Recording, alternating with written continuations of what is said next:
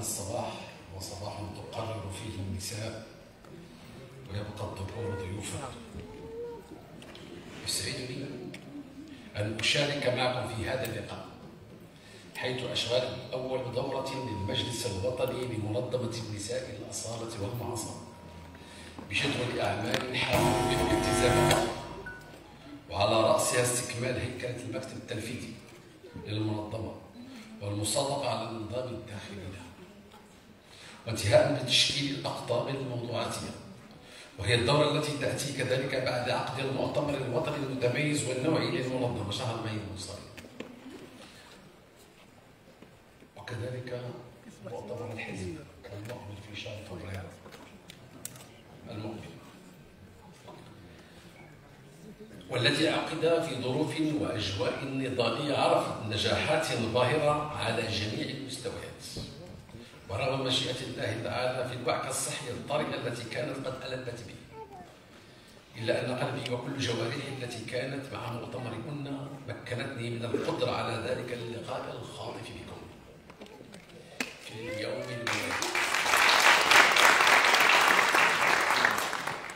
كإسهام نضالي من قيادة الحزب وتقديم كامل دعمها لإنجاح محطتكم تلك وبالفعل كان مؤتمركم مؤتمر وطنيا نسائيا بامتياز ومبهرا شكل لحظة انطلاقة حقيقية لمنظمة نساء الأصالة والمعاصرة على سكة النضال الطويل الذي ينتظرنا جميعا من أجل المساواة وإنصاف الرأي للإسهام في الجهد والإسهام في الجهد الوطني الرميم لتحقيق الكرامة المنشودة للمرأة المغربية وإعطائها مكانتها الرفيعة التي تستحقها أيتها الأخوات. انعقاد دورة المجلس الوطني هذه في أجواء دولية جد مقلقة حيث من استمرار مواجهة تداعيات الصراع الجيوستراتيجي والحرب القائمة بين روسيا وأوكرانيا إلى تفجر العدوان والاقتتال على الأراضي الفلسطينية التي التي نعتقد جازمين أن تداعياتها ستؤثر لا محالة على الأوضاع السياسية والأمنية والإقتصادية في مختلف أرجاء دول العالم. نتيجة ظهور الأوضاع تدهور الأوضاع في قطاع غزة. وارتفاع حدة العنف الذي يقوض كل عمليات السلام بالمنطقة. وحل قيام الدولتين. بل أن تمادي القوات الإسرائيلية في البطش والتنكيل والإعتداءات السافرة على قطاع غزة وعلى الشعب الفلسطيني الأعزل وخرق مختلف القوانين الدولية والمساس بمختلف القيم الإنسانية. وارتكاب جرائم حرب دولية على مسمع المرأة من العالم في اعتداءات مرفوضة ومدانة ستقوض لا محالة كل عملية السلام بل سترخي بتداعياتها السلبية على الجميع إن لم يتدخل المجتمع الدولي في أقرب الأوقات لوقف هذا العدوان السافر على شعب الأعزاب وفي هذه الظروف المأساوية لابد أن نتذكر أو نفكر أو على الأقل نصرخ مطالبين العالم ككل برفع هذا العدوان أولا وأخيرا وقبل كل شيء على المرأة الفلسطينية. نعقد هذا اللقاء في ظرفية دقيقة من تاريخ بلادنا حيث لا تزال تواجه بلادنا تداعيات زلزال عنيف. ضرب عددا من أقاليم المملكة وخلفت شهداء وجرحى وخسائر مادية بليغة لولا إرادة التضامن والبناء والتآزر التي أظهرها الشعب المغربي بقيادة جلالة الملك محمد السادس حفظه الله لكانت التداعيات أقوى لكن الملحمة التضامنية الوطنية التي شهدتها بلادنا قد ثمرت التخفيف من مشاعر الألم والأضرار وبعثت الفخر والاعتزاز بالصورة المشرقة التي رسمها أبناء المملكة المغربية خارج وداخل أرض الوطن. بالتدخل بالتدخلات البطولية لقواتنا المسلحة الملكية التي تشرفنا دائما. وكذلك باقي القوات الأمنية ومختلف المؤسسات الحكومية والمجتمع المدني والمنتخبين والسلطات العمومية.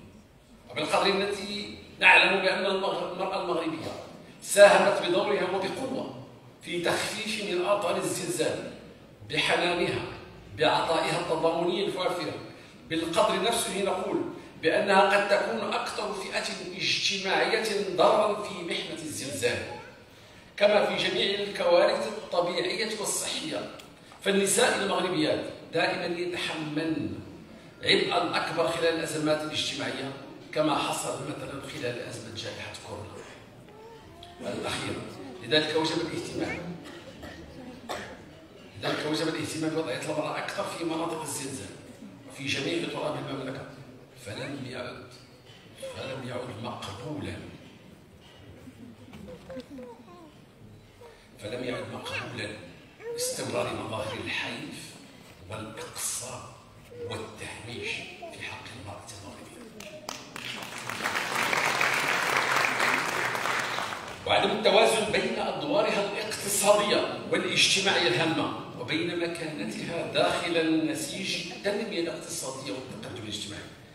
لذلك مطلوب منا جميعا وزراء وبرلمانيين سياسيين ومنتخبين ومسؤولين مناضلات ومناضلين التعبئة والتواصل المكتب والإسهام بكل الوسائل والإمكانيات الممكنة للنهوض بأوضاع المرأة المغربية على جميع المستويات وأن تتحول قضية المرأة إلى قضية إنصاف كحق إنساني وتصبح إحدى الالتزامات الأخلاقية الكبرى التي تتبناها النخب والأحزاب والمؤسسات. ولذلك تم خلق هذا المنظمة إن شاء الله سيد الرئيس أيها الأخوات مرة أخرى يسر صاحب الجلالة الملك محمد السادس حفظه الله ونصره على وضع ملف الأسرة المغربية بكل مكوناتها. على رأس الأولويات حيث بعد الإصلاح القوي الذي باشره مباشرة بعد تربيه عشر أسلاف الميامين بفتح ملف إصلاح مدونة الأسرة سنة 2004 وما كرسته حينها من دورة إصلاحية غير مسبوقة في بلادنا. والمنطقة على مستوى النهوض بحقوق المرأة وصون حقوق الأطفال والحفاظ على كرامة الإنسان ودعم دولة الحق والقانون وبناء المجتمع الديمقراطي مرة أخرى. وفي عمق انشغالات بلادنا بتحديات وصعوبات مختلفة اقتصاديا وسياسيا واجتماعيا وبيئيا تنتصر الإرادة الملك الإصلاحية الملكية ويضع حفظه الله من جديد ملف الأسرة المغربية على رأس الأجندة الإصلاحية بلادنا بعدما سجل نصر الله بشجاعة كبيرة أن مدونة الأسرة المنطوق الملكي. أن مدونة الأسرة أصبحت اليوم في حاجة إلى إعادة النظر بهدف تجاوز بعض العيوب والاختلالات التي ظهرت عند تطبيقها القضائي ومواءمة مقتضياتها مع تطور المجتمع المغربي ومتطلبات التنمية المستدامة وتأمين انسجامها مع التقدم الحاصل في تشريعنا الوطني انتهى المنطق ولرفع كل لبس التي قد يثار حول مرجعيات ومرتكزات هذا الإصلاح. فقد حددها جلالة الملك. في مبادئ العدل والمساواة. مبادئ العدل والمساواة والتضامن والانسجام النابعة من دين الإسلام الحنيف. وكذا القيم الكونية المنبثقة من الاتفاقيات الدولية التي صدق عليها المغرب انتهى النطق الملكي وبهذا التوجيه الملكي السامي تكون خارطة الطريق واضحة بالنسبة لنا. ليس فقط في حزب الأصالة والمعاصرة ولكن كذلك في منظمة نسائية حزب الأصالة والمعاصرة. والإسلام في هذا الورش المجتمعي المؤسس لأسرة مغربية قوية منصفة عادلة ومنسجمة. والانتصار للمسار الإصلاحي الراسخة التي كرسته بلادنا والمتجه بثبات نحو مستقبل صيانة الهوية المغربية في زمن اختلال القيم الكونية كما أننا واثقون على قدرة التركيبة الفكرية والمؤسساتية المتنوعة الجهات والتي ستشرف على هذا المشروع المجتمعي بشراكة مع المجتمع المدني والمفكرين والمختصين وإبداع مقترحات إصلاحية هامة ومنصفة. تعكس روح التربية والأصالة المغربية وتطلع لرسم أفق الإنصاف والتحديد للأسرة للمرأة وللمجتمع المغربي برمته لذلك نجدد دعوتنا لجميع الفعاليات السياسية والقوى الحالية إلى اعتبار هذه اللحظة مكسبا وطنيا لجميع الشعب المغربي وفرصة لتطوير مجتمعنا. ومن ثم ضرورة الترفع عن السجال السياسوي والإيديولوجي الضيق والانتقال. نحو رحب النقاش الهادئ والحوار الوطني المسؤول لإنتاج اقتراحات تتجاوز اختلالات والسلبيات الماضية التي يقر الكل بوجودها. والتطلع نحو مستقبل ظاهر لكل من الأسرة المغربية والمرأة المغربية. أيتها المناضلات لا داعي أن نذكركم اليوم بأن خيار النظام من أجل تغيير وضعية المرأة المغربية كان من الاختيارات المذهبية لحزبنا منذ التأسيس باعتبارها حزبا حداثيا ومنفتحا حزبا يؤمن بكونية حقوق الإنسان بما فيه المساواة بين الجنسين والتمكين السياسي والاقتصادي والقانوني للنساء. مما يحتم علينا. ضرورة الانخراط بالجدية المطلوبة لدعم القضايا العادلة للمرأة المغربية. وعلى رأسها تغيير القوانين وتنزيل السياسات العمومية الناجعة والقادرة على حلحلة الأوضاع الاجتماعية والاقتصادية والسياسية والثقافية للنساء. لذلك وكما نتحمل قيادة حزبكم المسؤولية الكاملة مع شركائنا الحكوميين في اتخاذ وتنفيذ التدابير والقرارات الممكنة لتغيير وضعية المرأة. وعدم الاختباء وراء أي مبررات بدءا بتطبيق حزبنا للمناصبة في مناصب التعيينات الوزارية. والتي كانت موضوع التي كانت موضوع نقاش بيننا وحلفائنا لساعات طوال لأننا كنا نرغب أن تكون هناك مناصفة بين عدد الوزراء وعدد الوزيرات.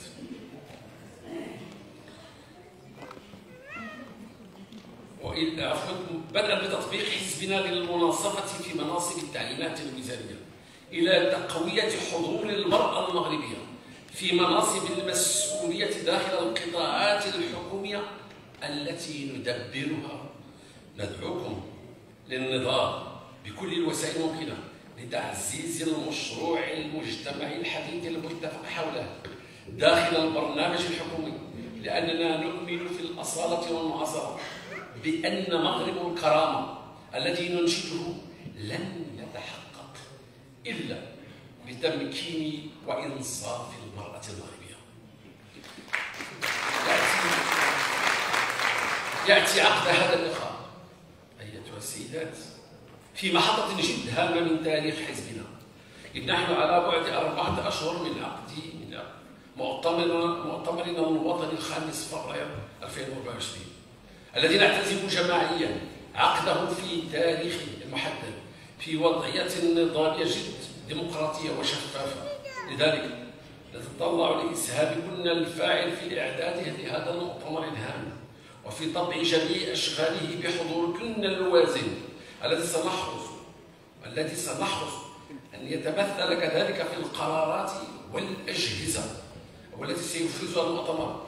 فحضور كنا كما حضور المرأة المغربية في مختلف المواقع دائما يعزز من النضال والديمقراطية والحداثة والجدية لذلك نحن مرتاحون ونحن نتوجه جماعيا إلى هذه المحطة الحزبية بالحصيلة النضالية الجد مشرفة مشرفة التي حققناها على مستوى حضور المرأة القامية في مركز في مراكز القرار الحزبي بدءا بعملية تشاركية هامة في لحظة تدبير الترشيحات النسائية للبرلمان 2021 والتي ستكون للمنظمة النسائية تأثير بالغ في انتخابات 2026 بشكل جماعي إلى تعزيز حضورها في الدوائر الفردية لنفس التشريعات مرورا بالرفع من عدد حضور المناضلات داخل المجالس المنتخبة وفي رئاسة الجماعة الترابية ناهيك عن دعم حضور المناضلات في هياكل وتنظيمات الحزب سواء في المكتب السياسي أو داخل المجلس الوطني وفي مختلف اللجان الفرعية للمجلس الوطني. وفي إدارة الحزب وإعلامه وباقي مؤسساته وانتهاء بتوفير قيادة حزبكم الدعم وجميع الوسائل لعقد مؤتمركم الوطني الأخير في مستوى جد راقي على جميع المستويات. أطارت نجاحته واعتراف الخصوم قبل إعجاب الأصدقاء. ونود بالتأكيد في الختام أن قيادة الحزب على يقين تام بأن أعمال مجلسكم الوطني هذا سيكلل بالنجاح وستتجدد الإرادة الصادقة للنظام لأن ما ينتظرنا جميعا كبير وثقيل يتطلب الجدية المطلقة والتضحية الجسيمة والحضور الدائم للأشغال والجرأة في مواجهة كثير من الإشكالات والقضايا التي هي موضوع نقاش المجتمعي والحضور الدائم للأشغال وأعمال هياكل المنظمة والحزب. والإسهام العملي داخل مختلف الخطوات النضالية الوطنية عبر ممارسات نضالية وسياسية مغيرة قوامها الالتزام الكامل والتقدير التام للمسؤولية والقطع النهائي مع ثقافة الانتهازية الذاتية الضيقة والتهافت على المناصب. فأنتن منذ لحظة المؤتمر الوطني للمنظمة مناضلات أكثر مسؤولية وعليكن رهانات. أكثر تعقيدا. أتمنى لكم التوفيق وشكرا. والسلام